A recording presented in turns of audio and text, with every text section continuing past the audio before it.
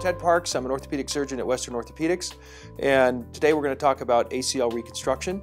The anterior cruciate ligament is a ligament about the diameter of your pinky finger that's an inch or two long. It goes like a bridge between the two bones, the two major bones in your knee, the femur, which is the bone from your above the knee from your thigh, and the tibia, which is the bone that goes down to your ankle.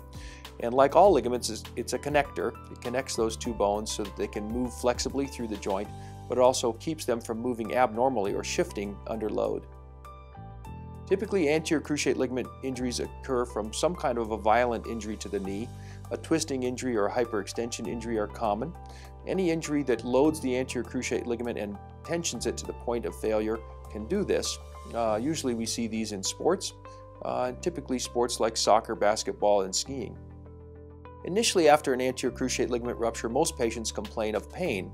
It's a big ligament and it uh, takes a lot of force to rupture it. After it's been torn, uh, people are fairly uncomfortable.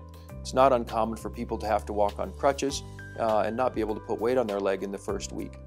After that, and when the pain uh, subsides, people then begin to complain of instability. Once they're able to walk, they may note that the knee shifts abnormally or feels unstable when they try to put weight on it. And these giving way episodes can be unpredictable uh, and most often occur in sports or vigorous activities. Typically, we can make the diagnosis in the office. The anterior cruciate ligament's job is to keep the knee bones close to each other, and by pulling on the knee gently, we can detect whether the anterior cruciate ligament is there doing that job or not.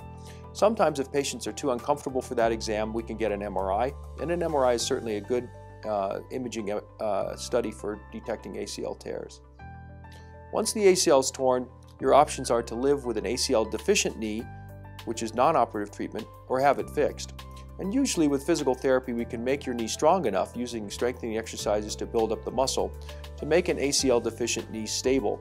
Uh, stable enough anyway for daily activities, going to work if you have a sedentary job, and household chores.